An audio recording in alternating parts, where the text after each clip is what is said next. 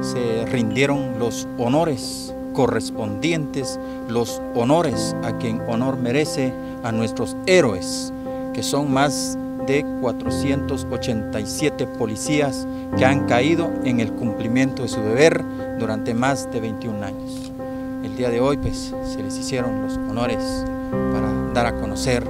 que no están en el olvido, más están inmortalizados